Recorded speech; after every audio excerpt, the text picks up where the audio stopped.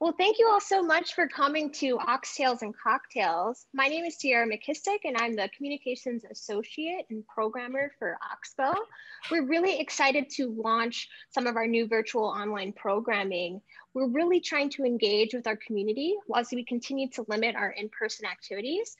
Through our new programs, we hope to better connect with our alumni, our faculty, and friends like you who live and practice across the globe. Today, we're excited to launch our new virtual talk series, Ox-Tales and Cocktails, a monthly conversation held on Zoom between our executive director, Shannon Stratton, and artists and makers and thinkers from our Oxbow community. And you can join us every third Wednesday of the month from 6 to 7 p.m. Central Time for conversations about Oxbow, art, and more. And tonight, we're really excited to talk to Matt Morris, who designed and curated and concocted our Mary K scent really, really excited to be here in conversation with him and Shannon tonight. I definitely want to tell you all about Matt. So, Matt Morris is an artist, a writer, an educator, and curator based in Chicago. He has presented artwork nationally and internationally. He is a contributor to artforum.com, Flash Art, Fragrantia, Fragrantica, The Scene, X-TRA Contemporary Art Quarterly, and other publications and in his writing appears in numerous exhibition catalogs and artist monographs.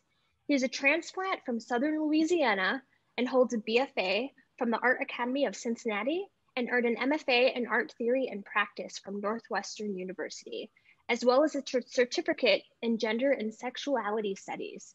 In 2017, he earned a certification in Fairyology from Doreen Virtue, PhD.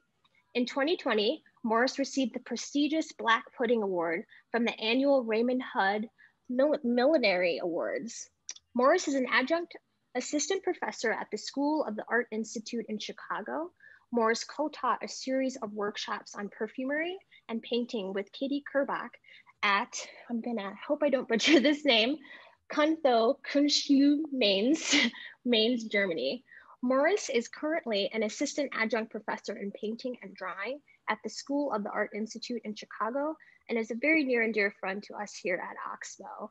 And with that, I'm going to hand it over to Shannon and Matt so they can be in conversation tonight about his practice, how he came to make the Oxbow Mary K scent, and more tales as well. Thank you all for joining us tonight. Thanks, Sierra. Thank you, Sierra. That was beautiful. Um, I'm just gonna, oh, there we go. Hey, Matt. Hey, Shannon. How are you? I'm feeling pretty good. Good. You're looking really great. Am I? Fabulous, actually. Good. yeah. I was so excited to have a reason to dress up tonight for the first time in, I don't know, months. So mm. um, I put on lipstick for the first time in a year. So you, thank you for giving me the occasion to freshen up a little bit. Yeah. And freshen up oh, with yeah. aviation. So um, cheers for everyone who's joining us for our first oxtail and cocktail. Um, I didn't do so well with making my aviation very purple, but it is super tasty. Um, I asked Matt to choose our cocktail for tonight, um, and she chose the aviation. Do you want to tell us why? Um, yeah, I mean, I have this like sort of panoply of thoughts that um, my I immediately thought of it as just a very perfumy kind of cocktail that because of the creme de violet and and using a really floral forward gin, you just get this really like kind of heady experience with the cocktail that is probably closer for me to experiencing like perfume itself. Um, but then uh, as it's inauguration day, uh, Kamala Harris comes out to be inaugurated wearing a, a resplendent purple outfit um, oh. by, uh, by who? Christopher John Rogers, is that his name? Designer. And it immediately made me think about our aviation cocktails and Alice Walker's beautiful sentence, womanist is to feminist as purple is to lavender. Um, and uh, I can't I can't credit that as magic we uh, foretold, but um, it seems auspicious for our little purple cocktails today. It is an auspicious date, as I pointed out in our little pre-meet too. It is one two zero two zero two one. So hopefully anything that's auspicious today is positive. Um, that's my hope for all of us. Um, one other thing, we got a bit of a soundtrack in the back, which was an, an accidental thing that happened when I was prepping for today and reading some of your own words. Um, and I was super excited that you have spent most of quarantine listening to one of my favorites, the Cocteau Twins. Mm-hmm. So um, now you've inspired me to get a playlist every time I, we have oxtails and cocktails. I think you should. um, why have you been listening to the Cocktail Twins so much this year? Well, um, the main thing I've been listening to for uh, several years now is Hildegard von Bingen, the oh my God. Um, mystic, feminist, feminine mystic um, choral writer. And so my my very rare excursions away from Hildegard um, have definitely sort of carried some of that dreamy, visionary sort of uh, tonalities. So Cocteau Twins, Celine Dion. I think that's pretty much it, though. yeah. How did uh, did uh, the Cocteau Twins get you through 2020 in a um, in an uplifting way? I think so. It, I mean, I think that they what they always kind of have that powdery uh, fairy dust sort of. Um, everything is sort of sitting in the field of the sound. Um, and when I look back over the things I've been making over the past year, I can really see corollaries there for sure. Um, and I'm a twin, so I'm predisposed. Right. Um, and my twin is here. I noticed that actually. Um, I uh, saw him there in the um, in the guests. So, m- hello, Michael's twin or Matt's twin, Michael, right? Yep, their name yeah. is Michael J. Morris. Yes, nice to see you, Michael. So, as everybody heard in the introduction, um, Matt made for Oxbow designed our very first scent, um, which we're really excited to uh, release just this past fall, called the Mary K. At the end of our talk, we'll hear a little bit more about how one blends a scent. Um, but I guess really I'm, I'm going to focus on asking you, um, probably talking to you a little bit more about what it means to have a perfume practice. Um, but first, um, I know you're going to kick us off with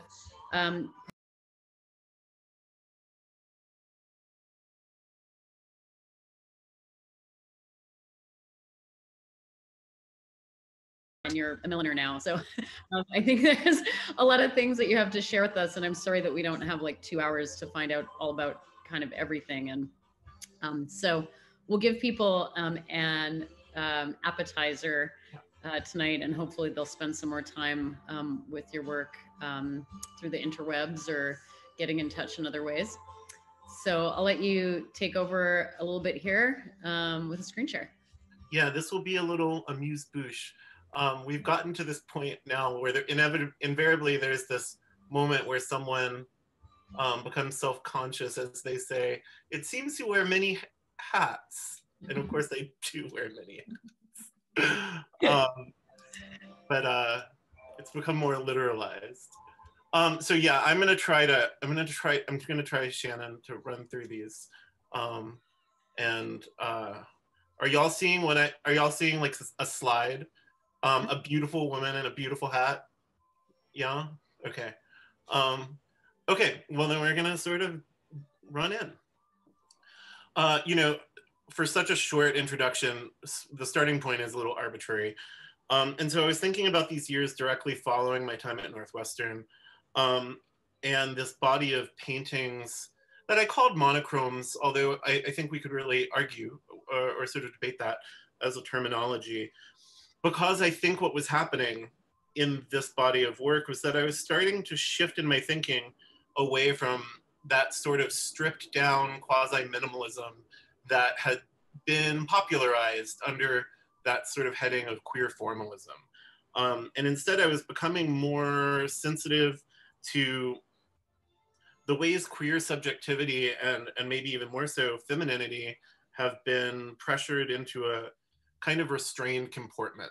Um, like, for examples, um, I think a lot about the difference between the kind of controlled, um, coy uh, visual languages of the more popular works that people associate with Felix Gonzalez Torres, and then documentation of his home life that where vintage toys and action figures and kitty cats seem to pile up in a much more expressive um, manner and we might also think of like I don't know, um, like Judy Chicago and Miriam Schapiro, who eventually come into working in really ornamental, excessive ways, but initially both describe feeling a lot of pressure to um, to conform to a type of austerity uh, in order to even have a presence in the art world.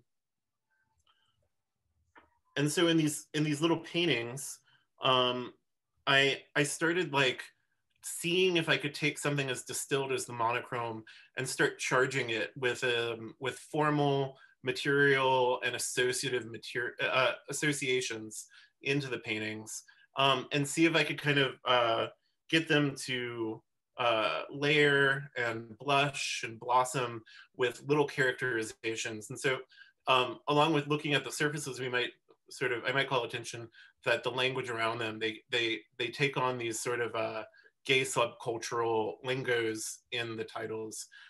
So this one is Fagnus Martin and Fay, which can mean fairy, but it can also mean full of dread. Um, and uh, I um, I started wanting to try to delve deeper into what I, I generally think of in my own studio as the excesses. Um, the the French feminist philosophers who inform a lot of my work would call it jouissance.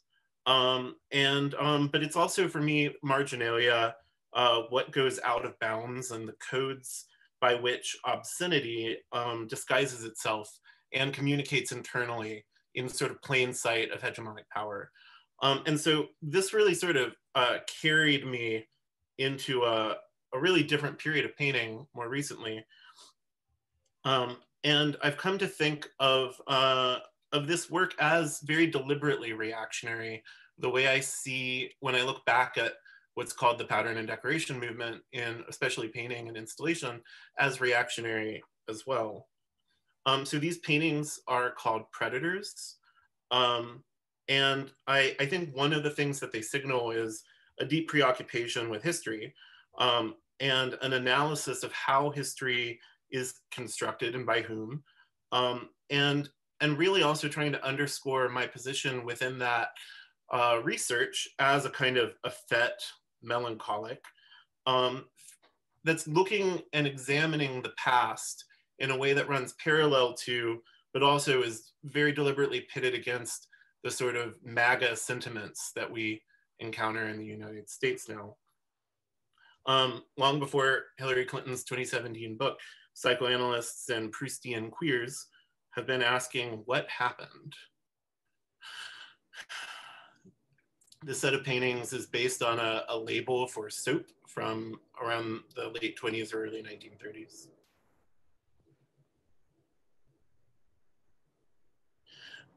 and that time period sort of uh, bookends this range of uh, periods that I'm looking to um, that have um, been marked by historical shifts in power. So this could go back as far as um, 17th century European court life um, up to uh, the Industrial Revolution hitting its stride um, and the implications of those power moves.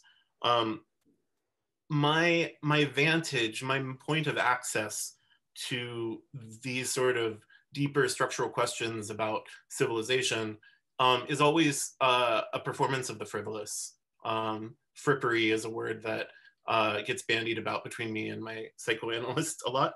Um, and uh, I'm, I'm interested in the way that seeming frivolity uh, always carries with it a clear politics um, not only of the profitability, but also the long-term um, exertion of power and authority around regulating things like gender and fashion.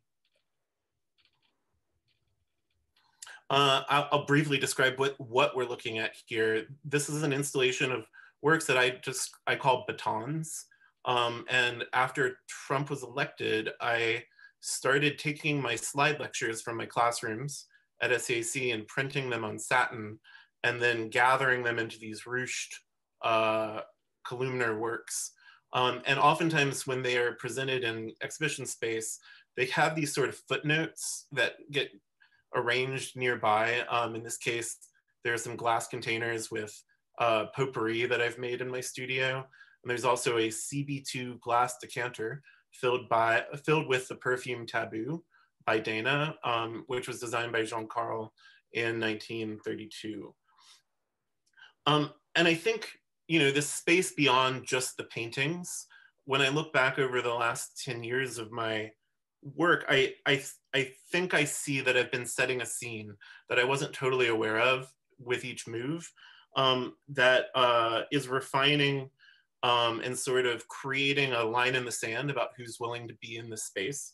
Um, what that space is, I may, maybe for the moment, I'll just say, I think it's like a boudoir. Um, it's sort of burlesque um, flavored. And uh, the, what interests me about it is that it seems that with these additional forms, these additional mediums um, that are gathering around painting, um, the space that's conjured seems to expel uh, sort of strident forms of heterosexism and masculinity. It's not a space for those kinds of energies.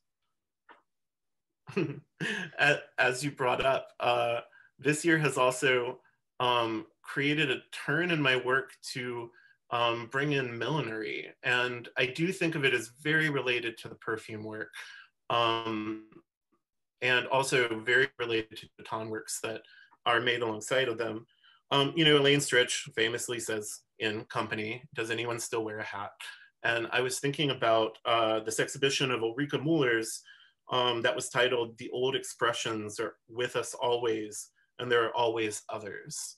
Um, and I think those sentiments may be side by side, the provocation embedded in them about time and era um, and value systems um, is wrapped around what I'm interested in by making art objects that are hats. Um, I'm, I'm curious and fascinated by what happens when I take information um, that is similar to what might appear in the paintings and I put it on the hat. And there's a very different level of comfort or initiation or a willingness to dismiss it um, as maybe fashion or as uh, too feminine or as too eccentric. Um, and I'm thinking a lot about like, uh, we've been watching a lot of film, a lot of TV this year, and actually hats are all over even contemporary movies um, and all fashion editorials, and yet they're very, very rare on the street. Um, and this is a fairly, well, I should say briefly what these two hats are um, on these very bad girls behind the gymnasium who are smoking cigarettes are, um, are a series of exhibition hats that are called Fresh Widow, um, where uh, sort of just as we were going into COVID, um, I was finding that I was having ideas for more exhibitions to curate than I had spaces um, accessible to me to stage those exhibitions.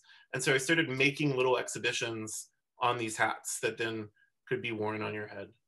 Um, and then this is a very recent hat um, that came about around the same time as the one that I'm wearing during our conversation uh, that are inspired by powder puffs um, and, uh, and a kind of showgirl um, ethos. They're very delicate. And I think what what sort of brought me to this level of that vocabulary is that um, again in the months just before we went into lockdown last year, I was amused and really um, sort of uh, uh, had a kind of rapt attention about the ways. How do I want to word this?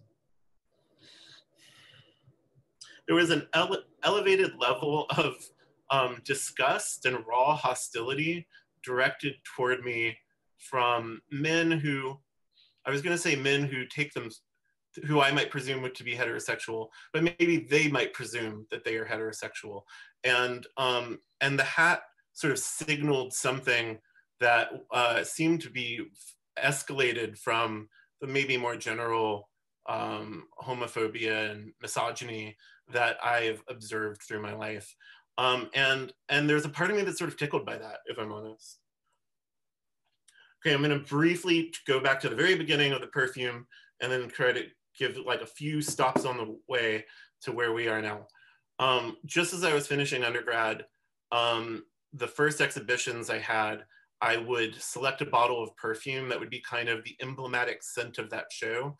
Um, and then I would before the exhibition opened, kind of like crash. Um, what do people do uh, where they beat? They don't beat like a champagne bottle where they like uh. Smash it against the boat. Um, it was sort of like that. I would do it in private. I would like kind of well up all of my feelings and then I would hurl the perfume bottle and glass would shatter and an oily puddle would appear on the floor. Um, and so this was the first time that happened.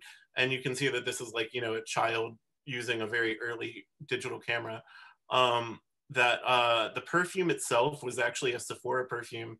And I thought the bottle wasn't classy enough. So I like found an antique bottle and put decanted it in that before I hurled it. And then around the same time was this one called Replies. And just in the span of a year, um, I can look back now and see that like my scent literacy uh, was growing exponentially. That like the second scent that I selected was a Comme des Garçons perfume by that was designed by Bertrand Duchaufour. Um, I think maybe the thing I'll say here is that, um, you know, a lot of artists talk, a lot of artists who work with scent talk about olfactory art. And, um, and I am interested in that. I write about olfactory art. I, I think it might be worth sort of isolating that um, I work in the, as, as I think you said, Shannon, like I work in the mode of perfume. Um, I'm interested in perfumes associations to um, so-called femininity and uh, dandyism um, and sort of a foppish relationship to fashion. Um, I'm, I'm interested in the form um, and its historical referentiality. Um, and this often informs how I, uh, how I select what materials go into them. Um, but of course, I think it's worth acknowledging too that memory plays a big part. Um, in some ways, smell, we might not always think about it this, this way, but smell is almost synonymous with memory. Our, we absorb um, scent molecules into the tissues lining our noses faster than our brains can operate. And so our body is already recognizing these histories before we can even put words to it. Um, so this was a project in 2017 of mine called Copycat Killer. I'm just, for the sake of time, I'm just gonna read what I wrote here. Four hand-blended hand blended eau de parfum based on fragrances worn by me, uh, my twin, um, and our mother and father. Uh, these perfumes were worn during gallery hours by the four directors of the wonderful gallery in Chicago, Julius Caesar, or substitutes that they may have selected when they were unable to be at the gallery that day. Um, so in this case, I was sort of, I was thinking about like the very long history of people making knockoff perfumes. And I was trying to blend perfumes that smelled like the things the four of us in my family wear. And I was also trying to add musks and synthetic animalic notes in very low quantities that would also give the impression of our bodies wearing the scent. So what the four uh, directors at Caesar were wearing were these references to the perfumes being worn on the Morrises' bodies. Uh, this is a candle that came out in 2019 um, through Field and Florist. It was um, that I worked on the perfume for. We can talk about it a bit more uh, later if people have questions about it. Uh, they recently made a second edition of it, um, and I think there's still a few there. Um, and so this was working with very close friends of mine um, to make a signature candle for them. Um, and uh, so again, I'll just read the notes. One of the things Heidi and Molly, who run Field and Florist, said at the front end was that they really didn't want the candle to smell like flowers. Um, and uh, and so I was looking at their business model of um, of growing the crops of flowers that they sell out on um, land in Michigan, and decided to sort of create a narrative in the candle. And so uh, the first sort of notes that you that one recognizes is sun-warmed farm soil, uh, these really snappy green notes um, of stems and um, galbanum is really one of the main notes in it. Geosmin is an, a synthetic aroma chemical that smells a lot like wet earth. And there's lavender, beeswax, um, Sri Lankan nutmeg, peppercorn, coriander seed, driving across the states, like trying to create a passage of time in the smell. Cedarwood, patchouli, vetiver, mossy notes, castoreum, traces of magnolia blossom, and then ultimately city vapors. Like we were we were seeking like a little bit of like car exhaust and a little bit of like spray paint fumes um, to be some of the lingering effects of this scent. And so then this is my last slide for the moment. Um, Advanced Potions is a piece from 2019. Um, and it, it's sort of adjacent to my perfume practice. It's sort of, um, it fits into a kind of lineage of conceptual art um, where this is a, a display, like a, a, display of bottles. Um, I didn't make anything that, uh, that appears in these various niches. Um, and in fact, most of them are gathered from friends and family members and collaborators and a few people that I'm big fans of. Um, and, uh, and in this sort of tradition, nothing here could be smelled. Um, this was a this was a sort of sealed object in a way, where these bottles were seen but not open. Um, and as I, there's a long history of uh, Duchamp and Kiki Smith and Nayland, Nayland Blake and lots of artists who invoke the sign of the perfume bottle without necessarily giving you access. Um, and so this was Advanced Potions. There's a lot to say about it. I'll try to keep it fairly brief. Um, each each bottle came from other people um, that I I was asking as I say, friends, family, loved ones, people in my professional network to contribute these little vials of various things to. Um, there's this sort of reflexive moment here that I really love that in Copycat Killer, the piece I was describing about my family, um, I had made a perfume based on this love spell that my sibling wears. Um, and then it seemed very, um, I don't know, it, it, felt very appropriate to actually bring the original material that I was referencing into this work. One thing I can say in passing about advanced potions is that I was looking, I was in search of an ethics for appropriation, um, I, that appropriative gestures, um, the sort of stripping away of um, singularity around authorship, um, and maybe a kind of um, tender contemplation about interdependency was sort of stoking my desire to find other gestures that could sit alongside just wholesale copying without permission and stealing like theft that that is a part of a lot of things I do in my work. Okay, that was the I don't know how quick that was, but that was that was um that's my overview. Thanks, Matt. No, I mean, that was wonderful. I think that gives uh, a pretty good sense. Of, I mean, yeah, it's an amuse bouche and gets people, um, I think, you know, more familiar with your work if they're not already familiar with it. I know some of the folks here tonight probably are, but some of the folks who see the recorded version might not be. Um, so I'm glad that's kind of where you and there's a cat under me um, ended. Um, because I think I will admit that the first time I, I recognized that you were working with perfume was when I came to your show at Tiger Strikes Asteroid in Brooklyn, um, the uh, Splitsville Smells Like Irises exhibition. And um, so that was the first time I realized you'd been working with scent for a while. And I remember we had a, a really like lovely conversation that evening about um, the way you were working with scent and um, how important perfume was to your research and the work you were doing. And I think um, tonight when I was getting ready, I was thinking about this piece, advanced potions, but then a lot of um, things, I guess, in your practice, even the way you treat your website, but shows like um, shows like the one at Tiger Strikes Asteroid, um, projects like Sisters, where you're painting paintings of Florine Stettheimer's um, it it seems like there's a a significant part of your practice is about um, I, I, guess honoring and responding to other artists and there's a, a lot of blending that goes on like in a show uh, that like the show at tiger strikes asteroid or like advanced potions where you're bringing kind of all of these parts together to make a kind of experience um, for an audience member and a viewer to the work and I guess I started thinking about that as blending, and that that um, I wondered if if you might be able to speak to the concept of blending um, or you know creating things from um, uh, predetermined objects. Like a scent is already a thing. And when we talked a little bit about making um, a scent earlier you were pointing out that it's they're like standalone things that layer on top of each other. You can't it's not just like it's not like mixing paint so, is there a relationship at all there for you, like conceptually, between the way you work that way with objects and people and ideas and the thing that's happening in in making a perfume? I think there definitely is. Um, the way, hmm, let's lay some ground.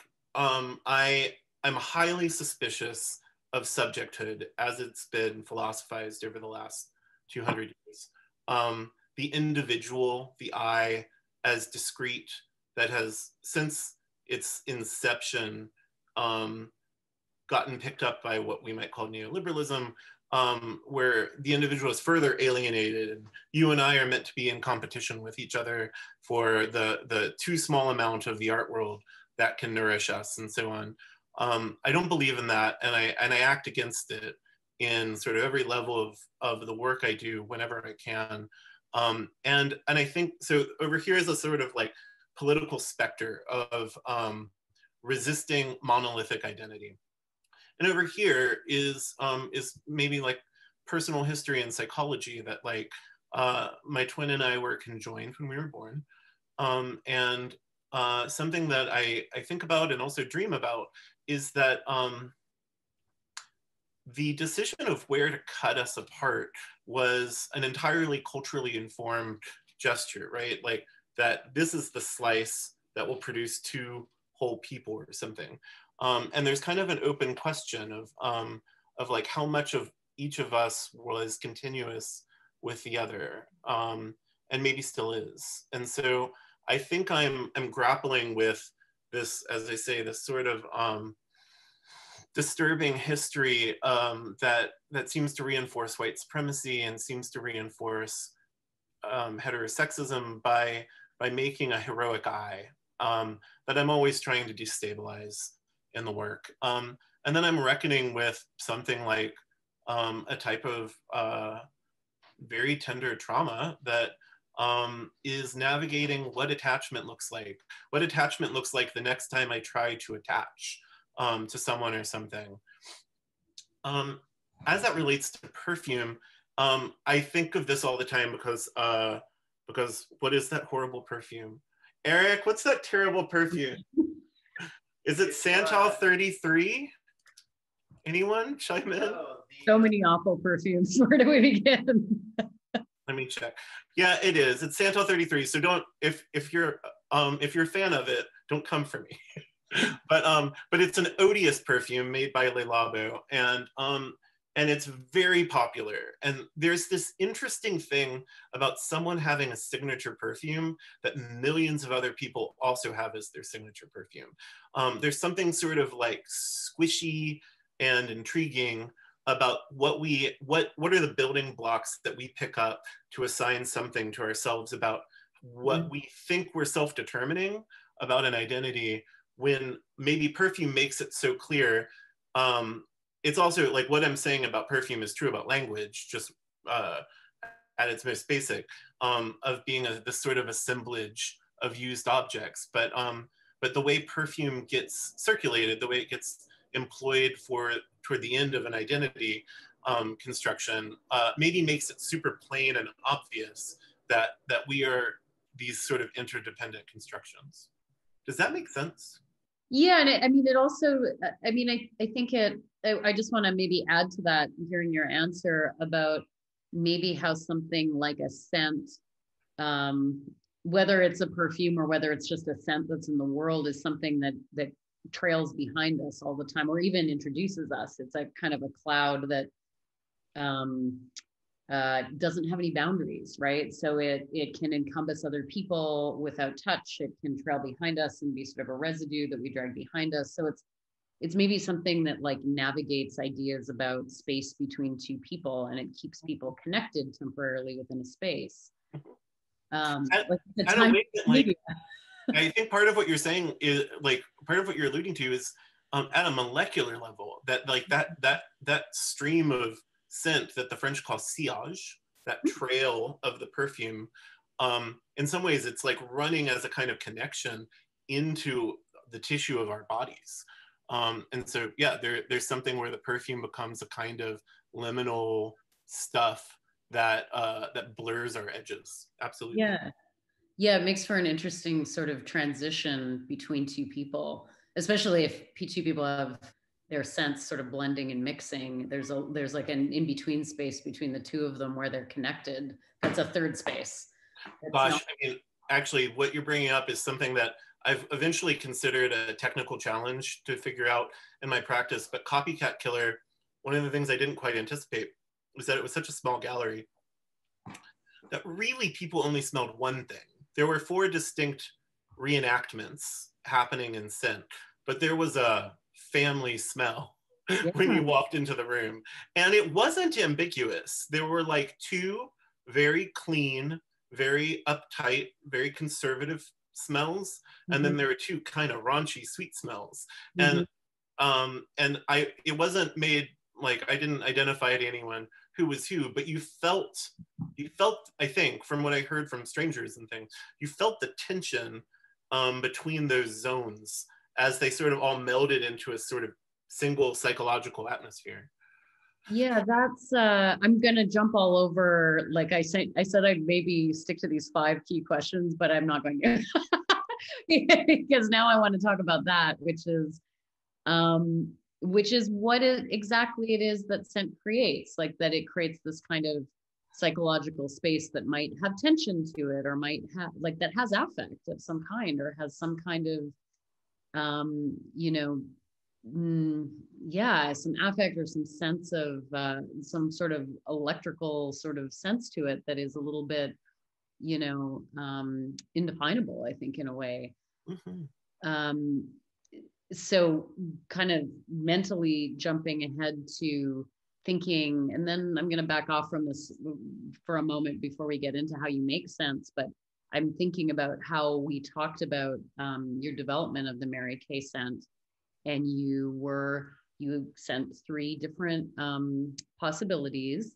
And just for those who are listening Mary K was um, a historic figure at Ox-Bow. She was our unofficial caretaker um, for several decades.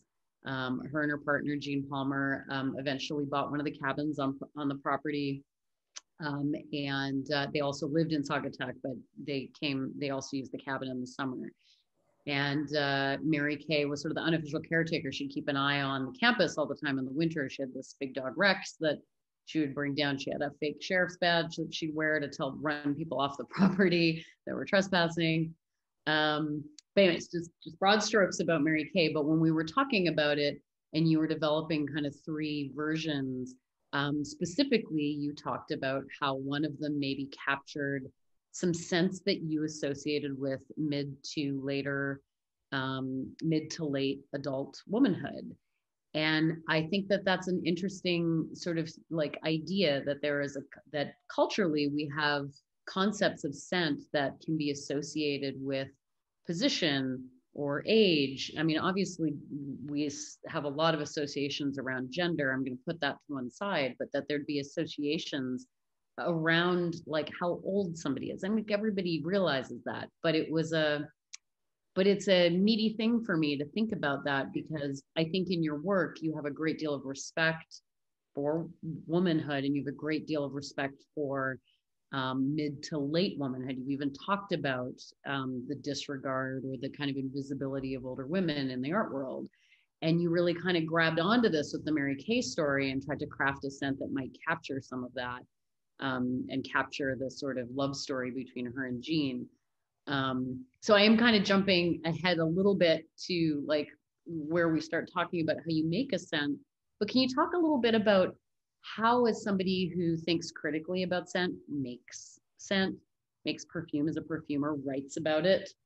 Like how you think about the affect of a smell and sure. the identity of a smell like where you locate that and and how you tease that out?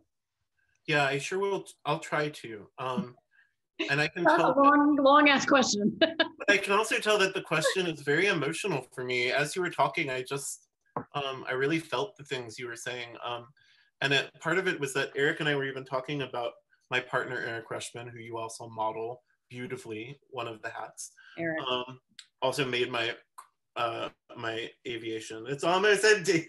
Okay. More. Um, oh, yeah, you can.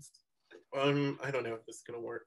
Uh, um, Eric and I were actually talking about the aviation um, and how like around like 2008 it stopped being popular in cocktail bars and it like fell out of fashion. And now bartenders say things like it tastes like soap.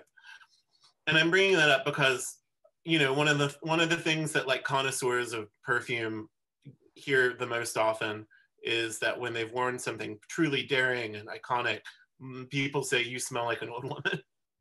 Um, and of course you're right that there's there's to, it's a totally um, it's a shifting slippery cultural association that what was popular when my grandmothers were wearing perfume now gets thought of as old lady.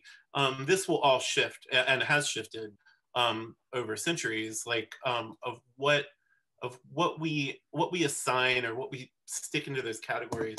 But actually, while you were talking, let me see if I can find it. Um, there's this book by Larry Mitchell called The Faggots and Their Friends During Revolutions. Mm-hmm. Um, and I'll just read this, what you were just saying. Uh, I mean, I've used this text in some things in the past couple of years, and I'll, I'll try to be brief. It's two paragraphs. The faggots cultivate the most obscure and outrageous parts of the past. They cultivate those past events which the men did not want to happen, and which, once they did happen, they wanted to forget. These are the parts the faggots love the best. And they love them so much that they tell the old stories over and over. And they act them out. And then as the ultimate tribute they allow their lives to recreate those obscure parts of the past. The pain of fallen women and the triumph of defeated women are constantly and lovingly made flesh again. The destruction of witty faggots and the militancy of beaten faggots are constantly and lovingly made flesh again and so these parts of the past are never lost. They are imprinted in the bodies of the faggots, where the men cannot go. The men want everyone to remember and commemorate only their moments of victory and plentitude. The men hope that only they have such moments. So history becomes a chronicle of wars and brutality and state splendor. Art attempts to transform men's brutishness into men's benevolence. The faggots know better. They know that one man's victory means the defeat of others, and that some men's plentitude means that others go hungry. The faggots refuse to celebrate the men's lies. I would say that's a pretty guiding principle for me.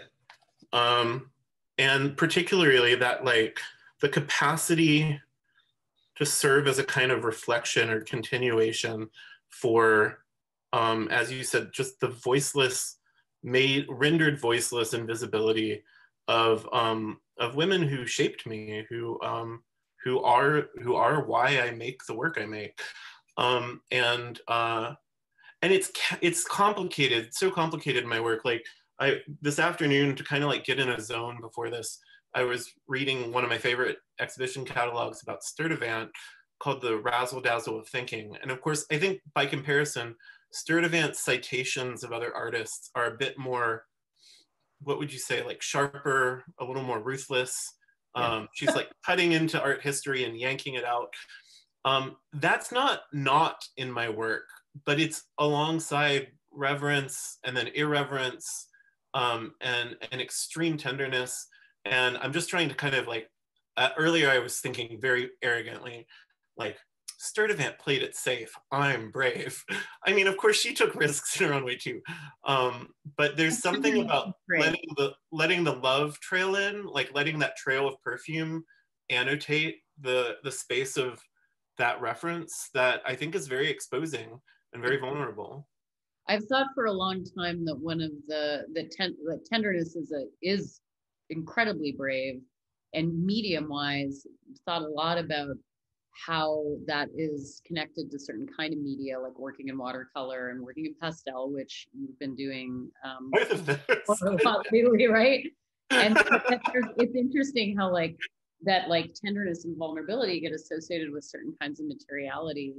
And um, I mean, I I come from like a uh, fiber like craft background, and I think that sort of relationship between kind of tenderness and vulnerability and certain kinds of materiality is something I've been really familiar with and that and how that you know how certain kinds of emotionality gets um marginalized you know it, it's it's interesting to me how you use uh, what's the exact phrase on your website? You say that you are always in the excesses like you said at the beginning of the introduction and but you don't say margins you say excesses so it's a i think that's like such a wonderful and robust way to think about um, the kinds of emotionality that does and, and like materiality that gets marginalized, but to think of it as this kind of vibrant place instead of um, this squeezed place, you know, that it's actually this really rich um, and kind of robust um, zone. Like it's, it, as opposed to allowing it to be sort of squeezed. Well, and this, this is me jumping around now too. Um, yeah, do it. We're having a cocktail. one of, one of the influences that I was thinking about are of course like my like the feminist French philosophers who just shaped me. Like um, I came into theory by way of uh, queer theory and and gender studies, but it was really like this these you know hard nosed but incredibly nuanced um, thinkers that were. And so one one text, Hélène Cixous collaborated with Catherine Clément on this book called The Newly Born Woman, which does not sound like a great title, um, but it's a great book. And something you just said made me think of it that I'm paraphrasing, but they more or less make the argument. Well, they make two arguments that um, that jouissance, uh, this sort of feminine capacity for more than one, and excess and eroticism, um, under capitalism becomes hysteria. That hysteria is jouissance as it comes under the control and machinations of a heterosexist uh, treatment of capitalism. Um, and they they start theorizing the hysteric, and they they put her alongside the sorceress as this outlier, this this woman who's been cast out of society. Um, and they get to a point in the book, and again, I'm really oversimplifying it right now, but they basically say maybe like, has anyone noticed she found a way out? like she's out there now. um the so the margins are the excess that like she found a way out. Maybe we got to follow the hysterical sorceress now um because she's in a different space. And um and in some ways her exclusion from this system uh, may be advantageous for all of us in the long run. Yeah. I love that. I wonder has anybody made a perfume name named Jouissance? oh i don't know um no i don't know you make me want to check. There should be one. I'm gonna um, go to Fragrantica's uh, database. I want to make sure that um, we have enough time for you to tell us how a scent's made. So before we flip over to the slides, yeah, will you, yeah, will you tell us a little bit because you did you did talk to me about this, and I want to make sure that I that we do talk about this. How um, what kinds of influences you uh, have on your work as a perfumer? other oh, no, perfumers, other yeah. perfumes also do objects and places and and experiences count as influences on that work mm-hmm. so yeah yeah totally um like the perfumer and and i the number one i think that affects my my work in perfume is Serge Lutens. um and he's such a fascinating figure he worked as the art director for dior's cosmetic division for a couple of decades and then he started working for Shiseido, a Japanese cosmetics brand. And then he went out on his own um, in the 90s um, and, and started making these perfumes that are really raw and really psychological. Um, like I was, I was telling a friend recently, like one of, I think the newest release in their press release for the newest perfume, it says something along the lines of this perfume will remind you of the trauma of being abandoned as a child when your mother couldn't be there for like just he just doesn't hold back. He's very intense. Um, and the perfumes, like the first that he got very recognized for was called Féminité du Bois. Um, and his, in some ways, it's simplistic now, but he was trying to make a, a, a perfume that could be considered feminine that was also very wood forward because these were very separate concepts in the 80s um, and so he's kind of in some ways making a woody woman which is like a dryad but also like a kind of uh, stand-in erection um, and he's he's brooding and dark and fabulous and one of my one of my biggest influences we'll make sure to get that like printed out and posted because I think yeah, we have this. You know, when I, I listen to a few podcasts that are like, check our Instagram for images of all the things we mentioned in our conversation, and we could totally do that. I would be happy yeah. to like. Pull, I think people are really curious to look that up. um, and then I think it's so worth saying, like at the front end of my perf- my sort of perfume journey as an adult, um, Eric gifted me a bottle of a perfume that was by the artist Niki de Saint Phalle. Um, and and in the 80s, she she worked with a perfumer to design a fragrance that was like the signature um, perfume for uh, the tagline was something like a dangerous scent for a controversial artist or something. Um, and it, it's so sharp. It's like sharp and grassy and green and it feels mm-hmm. like it's going to bite you like a snake. It's very intense. But um but i think it totally gave me permission to see perfume within the context of art like that um this will sound so mean um sometimes at my exhibitions I get into long conversations with someone going, I never thought perfume could be art before.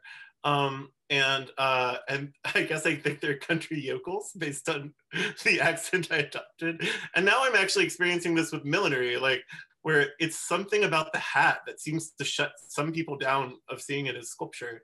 Um, but Niki de Saint Phalle was important. I think as it relates to Mary K, Germaine Cellier is so important to me. Um, she was one of the only female perfumers in the first half of the 20th century. Oh, wow. um, noted lesbian, and um, and she made these two scents for Robert Piguet.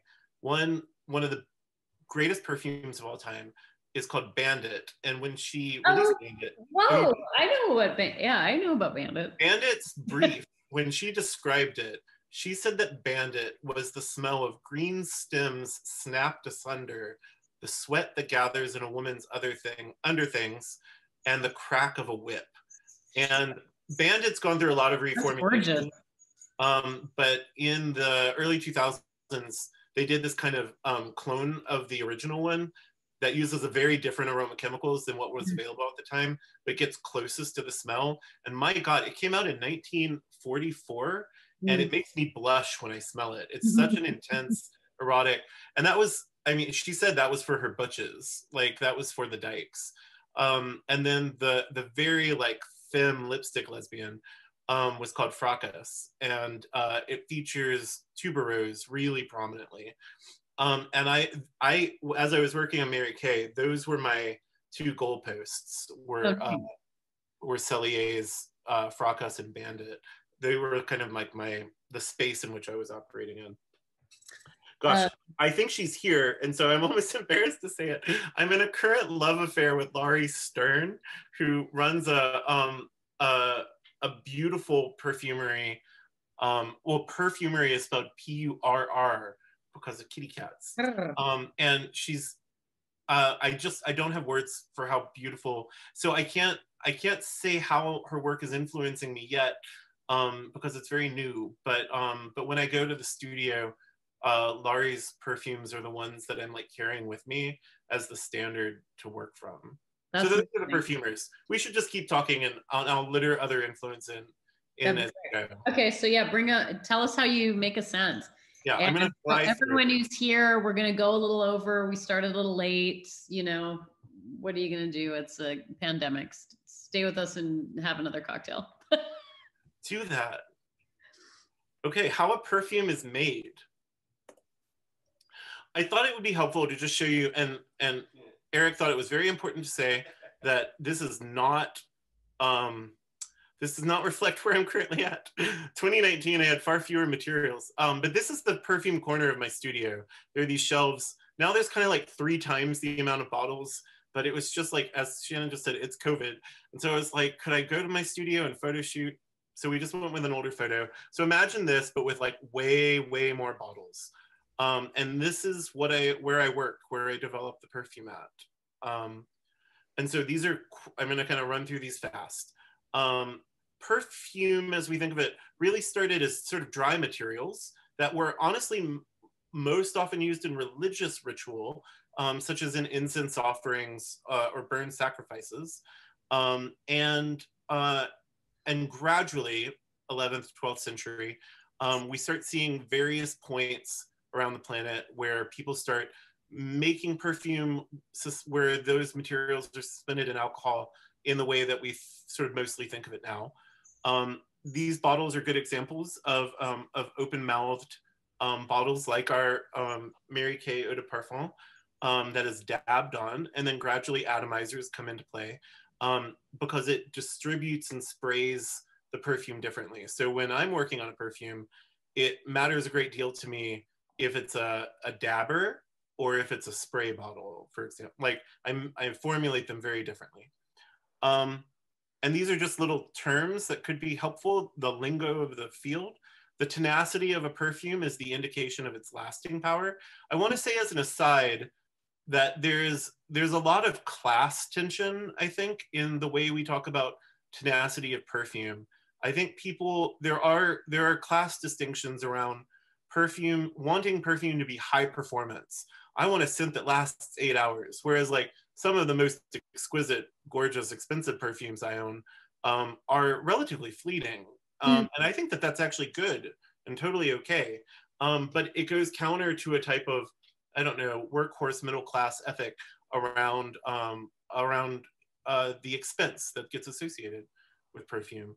And as I said earlier, perfume sillage is the measurement of the trail of its projection off the body. A scent that only the wearer can smell is said to be, quote, close to the skin.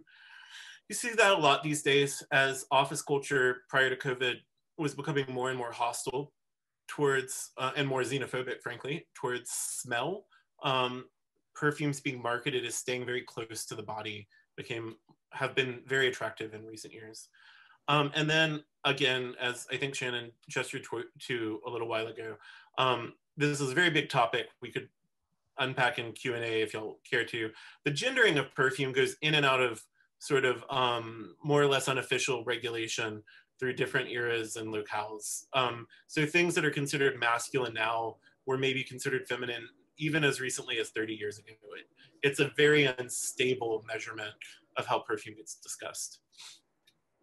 And then I thought in talks in terms of talking about like the construction of perfume, it could be helpful to just briefly uh, tell you the different kinds of things that go into perfumes.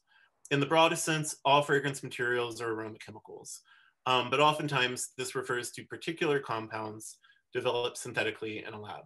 Um, there are a number of ways that scent may be captured or extracted from various organic materials. Um, pomades have mostly fallen out of use, but are the result of oils being absorbed into masses of fat, as in the enfleurage technique, which I'll say a little more about in a minute. Um, tinctures are very straightforward. I make them all the time. Um, it's an infusion process where you put alcohol in a thing, a bottle, and you shake it every day. And gradually, whatever that thing's uh, residual oils are, transfer and break out, break down into the alcohol. Sometimes you strain the thing out and put more of the thing in. Uh, like the most recent example I have is that growing up in Louisiana, chicory is very common in our coffee. And mm-hmm. I have a really sort of I have a real sensitivity to chicory as a note, um, and and yet it's not really available as a material in perfumery, at least not in a very accessible way. So I've made a lot of chicory tinctures where like um, it's it would almost be like uh, brewing a pot of coffee and then changing out the grounds and putting more of the new grounds in and then running the coffee through again, where you're just intensifying. Um, essential oils specifically refer to the oily liquids extracted by means of distillation or extraction. Um, concretes are materials, often a semi-solid mass, obtained through a solvent extraction technique. Absolutes are purifications of that concrete process.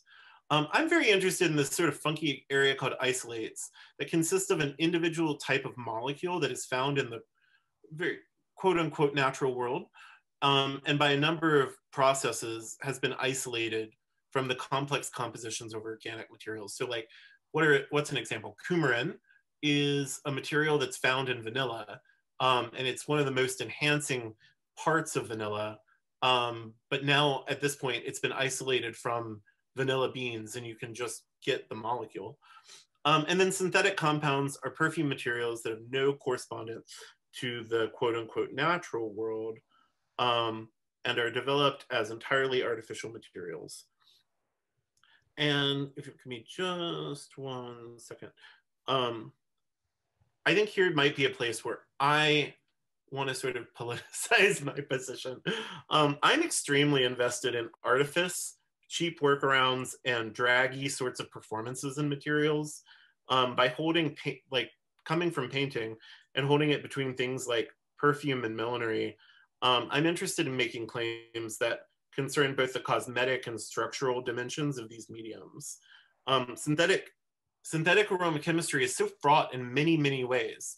Um, it, um, it follows many of the ingredients we think of now as available to the perfumer's palette um, came about during the Industrial Revolution directly following abolition, when there was a rush internationally to find ways to make technology stand in for, um, for the, uh, the loss of uh, that previous dependency on enslaved populations to perform labor and manufacturing.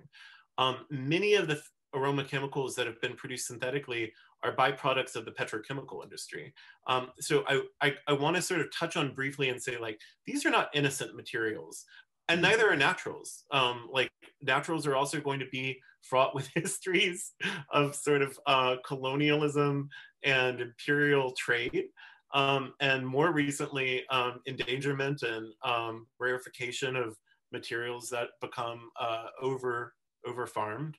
Um, and so perfume, like any material we would use as artists, um, I think it deserves deep investigation of like all of these different kinds of things that go into perfume are also connected to massive arrays of political um, sort of questions that each of us have to develop an ethics around.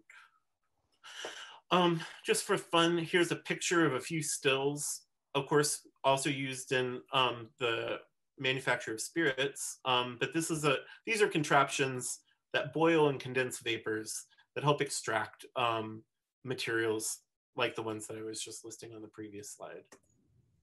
Oh, and I mentioned enfleurage. It's so gorgeous. It's just not efficient. So people don't really do it very much anymore. Wow. Um, enfleurage is this process of having large panes, usually of glass, on these trays and spreading a uh, animal fats, usually odorless animal fats, across mm. the glass trays and laying flowers into them. And as those flowers release their oils, you take these flowers out and put more flowers in. And you can do that several or many times. Um, and the resulting infused fat is a pomade, which historically, mm. like circa Marie Antoinette, was often just sold as a pomade, um, mm. or can be purified into an absolute um, and used as a perfume material. There are some, if you if you're interested in learning more about enfleurage, there are so many great independent perfumers who keep this um, this sort of older art going because they're not concerned with like Chanel level of manufacture. Um, and uh, I found Etsy to be a great place to uh, meet and, and learn more about folks who are continuing to use enfleurage. So very briefly, because especially it pertains to how we've presented Mary K, um, there are different concentrations of perfumes. Um, and these are rough numbers. Like this is someone else's diagram. I'm sure we could find these edges a little debatable. Um, but uh, Eau Fraîche, fresh, we never really see these, not often. They're like um, they're like those body mist sprays at um, Bath and Body Works. Um, eau de cologne is the sort of complicated thing too, right? Because eau de cologne means a specific cologne from history that Napoleon wore. And it also in the United States, especially in the middle classes, especially in the white middle classes, cologne has come to be an identifying term for perfume worn by men. And that's like a whole other thing to think through. And it's also a concentration in perfume. Um, the two main ones though are eau de toilette and eau de parfum. And then anything above eau de parfum could be called a, called a parfum or an extrait. Um, and these are, uh, these are um, juices that are in predominantly the scented material. An eau de toilette is about four to 15% um, of the scented material and the rest is alcohol to sort of break up those molecules. Um, our Mary K, I think, is 15%. And then our eau de parfum is really closer to 25%.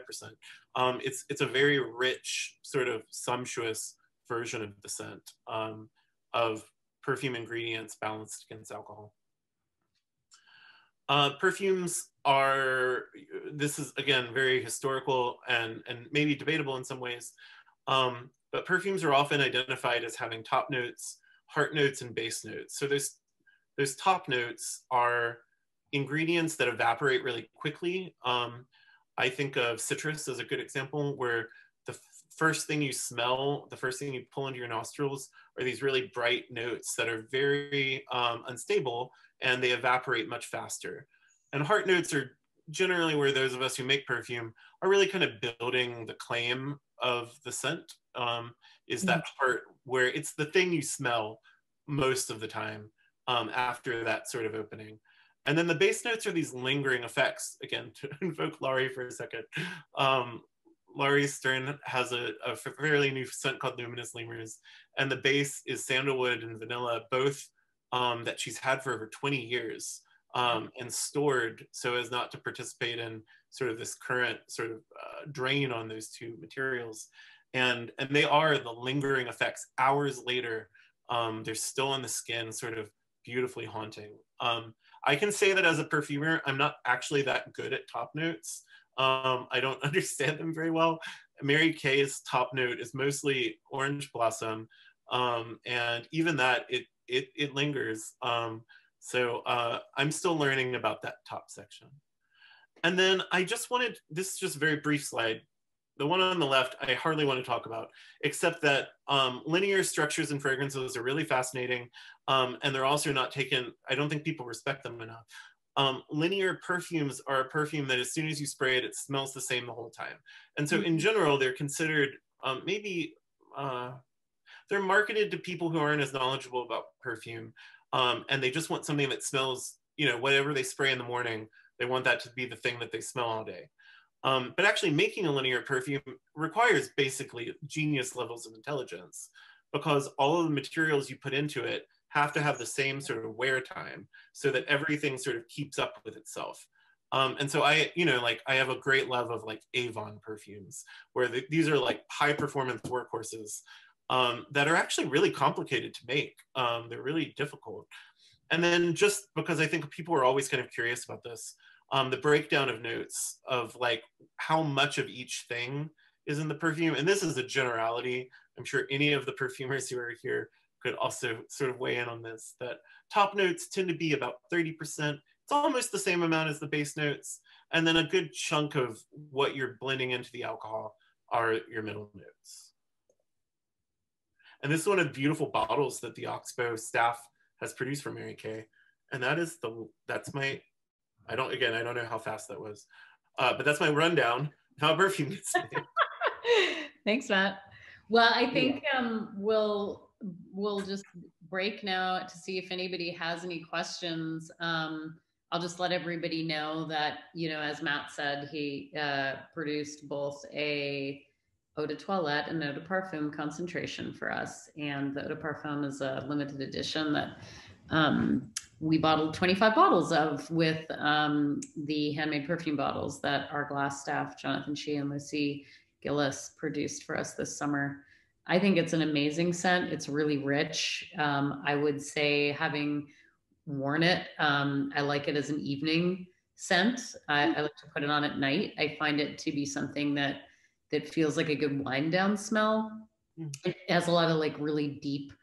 Um, it, it, has like a depth to it, or it feels like emotionally deep or something. But it, it has a kind of richness to it that feels really good to put on at dusk um, that's my feeling about it. It's sitting on my desk. I roll a little bit on at the end of the day. Um, so that's my that's my experience of the Mary K. Um, so I'll open it up to questions. Um, Sierra's taking them in the chat box. Um, maybe also you want to let us know what you're wearing right now. Maybe you've got a favorite um, scent that you wear every day or almost every day that you want to share with us. And maybe Matt's got a a reflection on um, that particular smell its 33 over and over. My scent, by the way, Matt, that I wear all the time is Galop d'Hermes. oh, that's my favorite. It's a really uh, sort of, I'd say, genderless kind of woodsy smell. It's my favorite.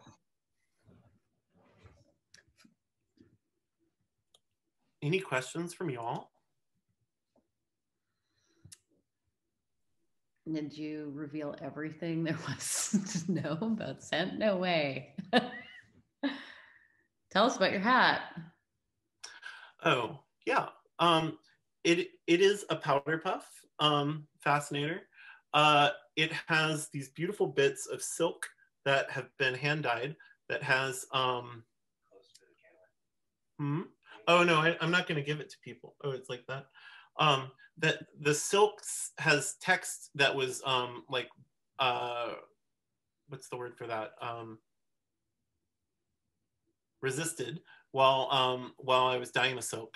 So it says tough titty poudre, um, and it's sort of a breast, um, and it's got this like wedge of tulle behind it, um, with like an edge mm. feather. It's amazing.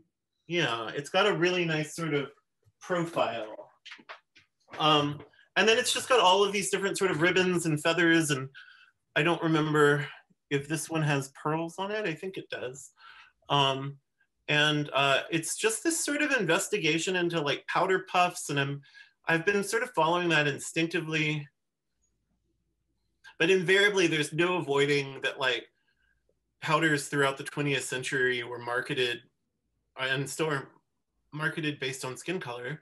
Um, and so um, one of the things that I'm still like trying to figure out, wrap my head around is that like right now I'm at the threshold of understanding that powder matters to me along, alongside perfume and millinery and these sort of other kind of, um, I don't know, accessory gestures. Um, I, I believe powder might be very fraught. Um, so I, that's, that's where the work is headed, I think. Was that inspired by the cover of uh, Le Sourire that you were drawing and redrawing over the season? Yes, yeah. I actually, um, a friend of mine made the connection, and I was like, I truly had not thought about it, but I think that there's an, I just think I orbit around thoughts Got from it. different directions. and they eventually sort of collide into each other. But that that that figure that was on the magazine cover, um, I mean, I guess I'm obsessed with her. She seems to have agency to me, um, considering pinups are often presented as a kind of object, and she is an object because she's a powder puff, but she's got this hand up, like she can pull the box down and disappear whenever she wants to. Um, and I just think that that that sort of like appearing and disappearing and how we appear um, and what powders are on I don't know. Um, I'm still processing it. It's all very new work. You have a question that's um, from someone who wonders if you will make custom scents for everyday people, like on a one-on-one basis, I imagine. I guess the answer is um, not right now. Um, I just haven't, I haven't quite figured that out um, for myself. It would be so expensive. That's one of the things that I just haven't quite figured out yet is that like what the production costs are and what the what my time would be to formulate i just maybe i'm not maybe i'm selling myself short i just don't know if people are quite prepared for the sticker shock of what would be involved in formulating something bespoke like that um, so not not right now but it's something that people ask me a lot i'm not mm-hmm. completely opposed to it but um, who knows no, not right now um, you have another question from Jesse Malmed, who uh, wants, who says, "Loved your descriptions and lens into the lexicon of scent. Curious where you find non-causal, like grassy scent terms coming from. Lots of visual metaphors, taste. What are some terms you've gleaned from scent talk that we should know?" Oh, this is such a good question. Um, uh, the first thing I'm going to suggest and it's actually on Amazon now too, but it's been on YouTube for a long time. There's this great BBC documentary that's three episodes long about perfume. Um, and one of the things that they talk a lot about, they for I think it's the third episode, they follow. The episode starts in a limousine, and there's a woman who looks like Meryl Streep in The Devil Wears Prada on a cell phone, and she's going like, "Yes, no, yes, no, that'll be hot. Let's go with that," and clapping her phone shut. Um, and then we find out that she's like the marketing uh, director for um, Axe body spray. And she's traveling around the world doing these very uncomfortable uh, consumer tests with groups of um, pubescent boys. And she's like smelling the new Axe body or spraying the body spray. And then she's like leaning in saying, What do you think might happen with your girlfriend if you wore this on a date? And it's very weird. and then at one point they interview her and she goes, oh, well, the thing you have to understand that is that in the United States, people are not scent literate. Um, and mm-hmm. she compares it to Brazil as a space where there's actually a lot of language and a lot of cultural appreciation for how scent works. And so I think Jesse's totally right. Um, in English, as at least I practice it, oftentimes we lack vocabulary for the description of scent. Um, and so it we often, I mean, we often turn to metaphoric language. And, and actually it can be exhausting and contradictory and confusing because perfume reviews, a lot like wine reviews, actually, when I think about it, will like shift from a music metaphor to a color metaphor.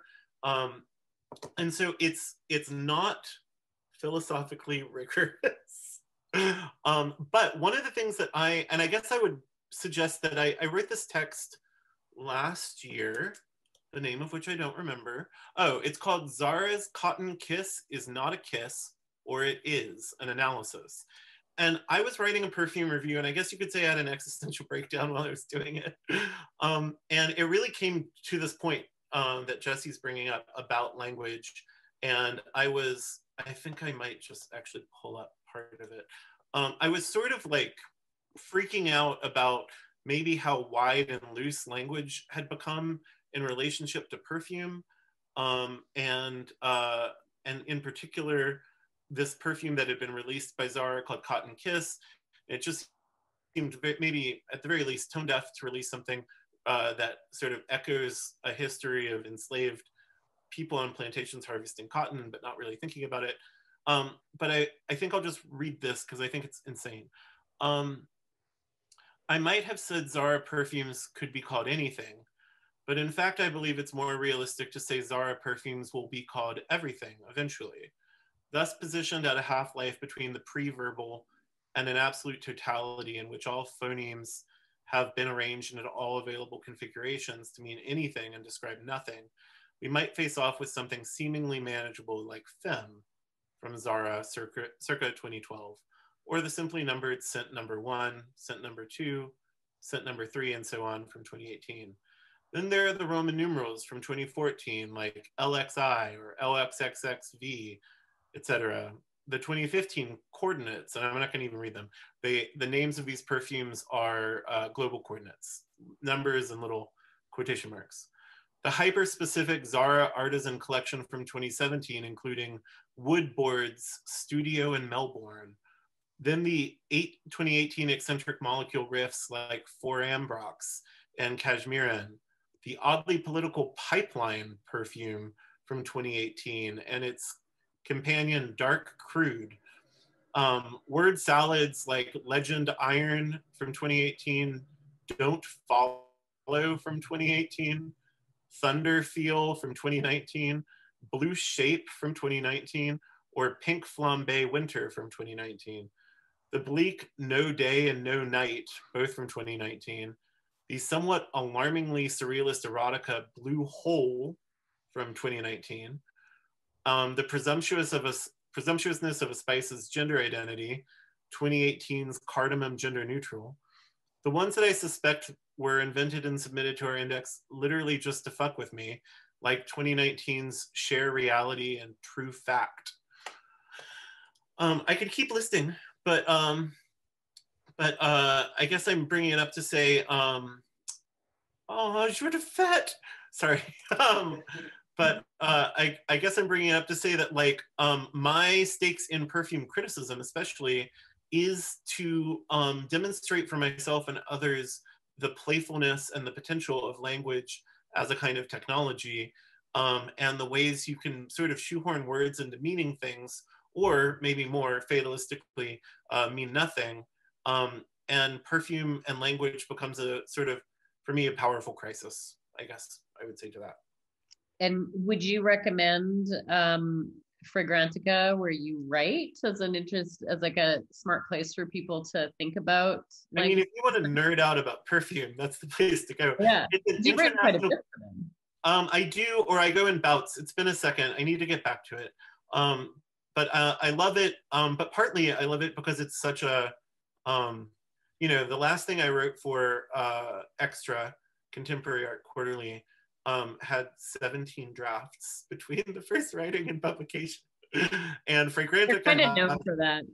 has more or less no drafts. And so sometimes I have terrible typos in my essays, but I almost just like prefer, gosh, like when do writers get the instant gratification of something you've written being online the same day and, and getting paid fairly well for it.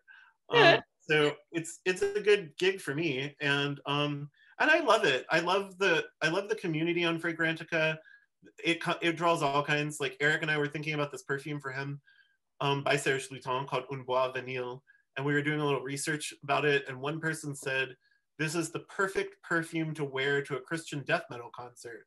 And we were like, "I don't know how that fits into our goals right now." so yeah, I mean, it's a great starting place. So you've got two last questions before we end. I know we went way over. Thank you for everyone who's decided to keep drinking with us tonight. I think it's been really fun, and I'm and I'm really excited about everything we've talked about, Matt. And like, well, we didn't even like. We got so much more to do. It's like there's so much more, but um, we got two questions. I know you're seeing them too. Let's answer John's first. Um, do some fragrances mix with body chemistry and smell different on different people? And the answer is yes, all fragrances do that. And it's actually almost like a parlor trick when I have people, well, before COVID, when people come into my studio, um, I'll like dab a perfume on both of our wrists and then we'll smell it. And uh, without fail, we're like, oh my God, it smells like two different perfumes. So, yes, I think that's really a real thing. Um, you know, like as I was mentioning, uh, my partner smells so good in in a vanilla perfume. And almost all vanilla perfumes smell like well, I was going to say a cheap Yankee candle. I don't know. Yankee candles aren't that cheap. I they're very expensive. Um, but just a cheap vanilla. I smell trashy and cheap with most vanilla scents. Um, but it like teases out something very like sweaty and spicy in Eric that always plays really well. Um, yeah. And so it it I do yes yes the answer is yes. Um, and also it changes like I have this great. If anyone wants this, find me on Instagram and ask. Um, there's this lady in New York, and I don't remember. I think the place is just called the Perfume Shop, and she does make bespoke perfumes, and she does this like kind of quick, almost like chakra reading to figure out what you need in your life, and then she blends a little perfume oil. Um, and I've had a few made over the years, and I wear one called. You get to name it yourself, and it was one I wear is called Kitchen Kunsthal Witch. Um, and I will say that one of the things I've noticed to that with that is not only does it change smell different on different people and also it totally changes if i get like hot and sweaty. It's very mm-hmm. different. Mm-hmm. the, the reason i'm really bringing it up is it's it changes scent when i get angry. Um oh, wow. like, it's almost like a, a protective pet that gets very pissed off if i get upset.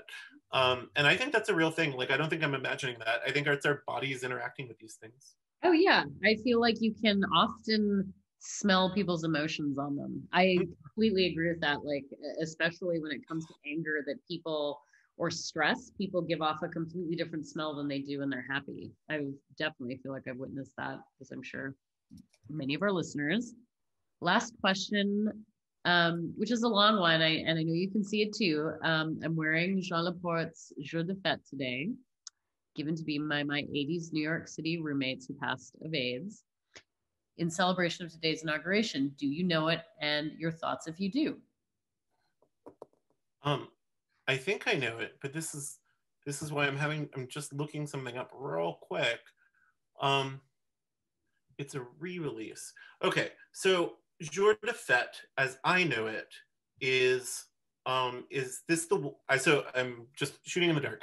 If this is the one by L'Artisan, um, then I do know it it was discontinued and then re-released and in my understanding it was reformulated at that time. Um, and so i have a jour de fête that is um, that is was designed by Olivia Giacobetti who um, but you said laporte. So let me just try to figure out where is he? What's his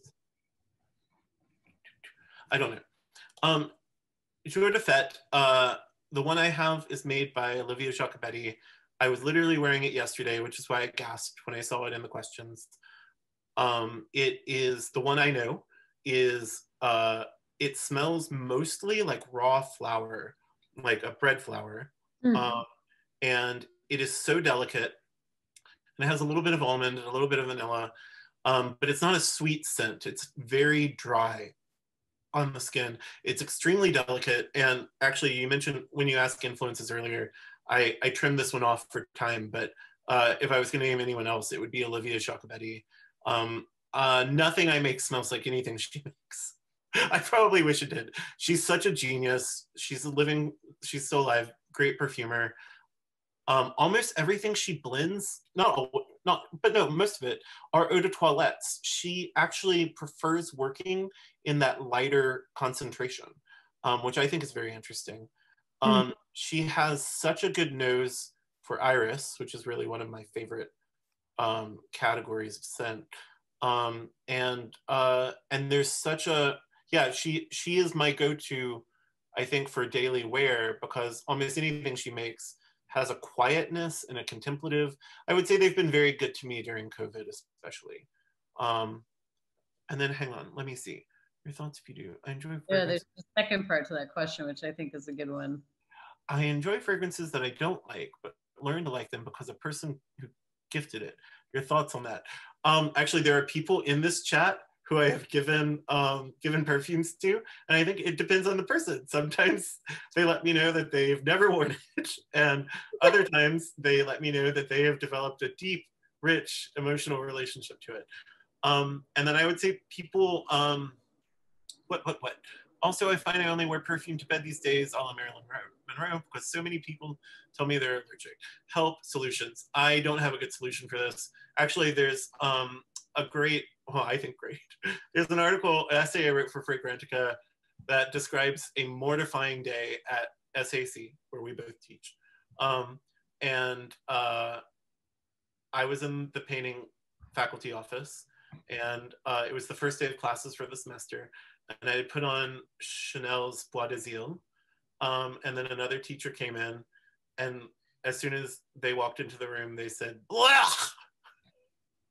And then they said it smells like pesticide an old lady in here. Oh. Like, i was like that's me. I'm so sorry. I put too much perfume on. I shouldn't have done it in this little room.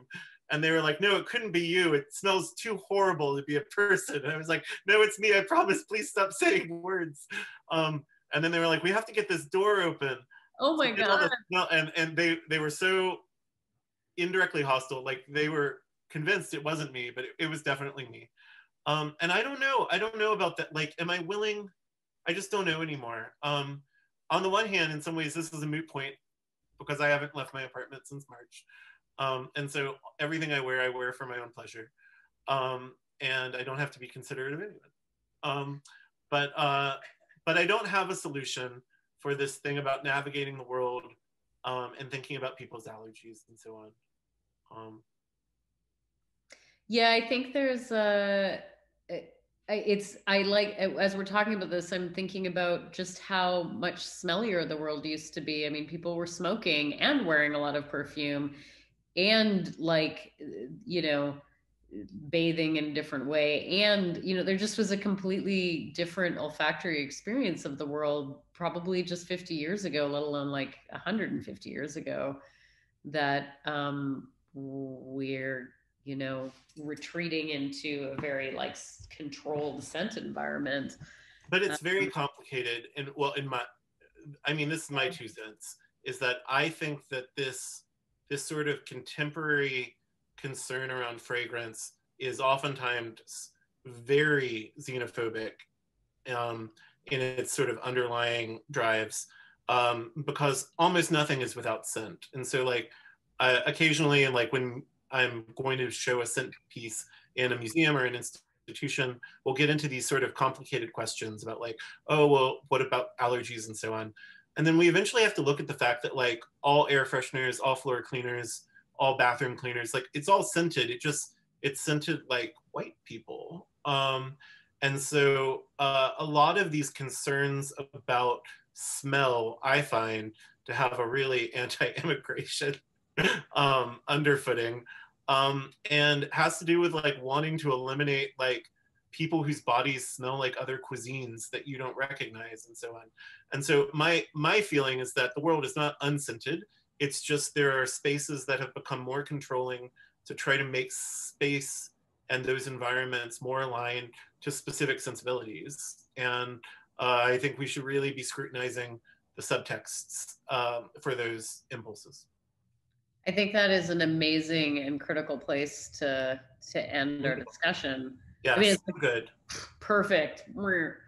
Um, Matt, uh, a total pleasure to talk to you this evening and have a cocktail with you and um, hear how you think about your work and how you think about scent. And I hope um, everyone who's here tonight, I know there's lots of folks here who know you already. If folks are here who aren't familiar with you, will dig deeper into your practice. Um, and those folks who are going to watch this later, because we will post it, will do the same. Um, but uh, we'll have another Ox-Tales and Cocktails next month in February and um, TBD, who our guest will be, but somebody else from our extended Ox-Bow community. But I really appreciate you being the one to kick it off, Matt. Um, it's always such a talking with you. It was also just amazing that um, I'll just say to everyone listening who's left that, you know, I really reached out to Matt kind of super on the fly to say, hey, do you think you would make a design a scent for Ox-Bow? And the enthusiasm and generosity that you responded to that invitation with um, are really memorable to me. You were really excited to make something for Ox-Bow. So I really appreciate that. Yeah, I love it more than any place on the planet. Um, so, I mean, it, I would never have, like, I don't mean that to sound mean, but I just, I'm from the South. I just never even thought about Michigan. Um, and Ox-Bow is one of the most magical, special places that I've ever been in. I always want to be back in the winter, not in the summer. Um, but uh, but uh, I'll be there every winter you ever want me there. Well, then it's great that the label has Mary K in the winter at Ox-Bow. Yeah. It's, it's, the only Ox-Bow I know. Yeah. the only Ox-Bow I want to know. As Claire just said into the chat box, you're the winter witch. I am the winter. That's a nice thing to say. Um, thank you everyone for coming. Um, we have a special discount for you if you haven't got a, a, a an edition of the Mary K yet. Um, I don't know where the code is. Maybe it'll come up. Is it on the next slide, Sierra? It was showing up on the thing, but I think that the present button took oh, it out. Weird. Hold on. One second. well, tell us I'll what it is. I'll I'll add it into the chat yeah, Carol put it in the chat box. Um, and thanks for joining us tonight. We have a little discount. There you go. You can get a discount on our Mary K scent designed by Matt Morris and limited edition of 25 of the Eau de Parfum. The Eau de Toilette is an open edition. That's in a roll-on bottle. And the Eau de Parfum comes with a classic glass um, dabber stopper. Dabber stopper? Is that what you call it? I think a dabber stopper sounds good to me. Sure, it's a dabber stopper. um, stay tuned for some other events. Um, and thanks again, Matt. I hope to see you in the flesh some day. okay, we all take care. Thank you so much for everyone who came. Mwah, mwah. Talk to y'all soon. Bye. Thank you, everyone. Have a great evening.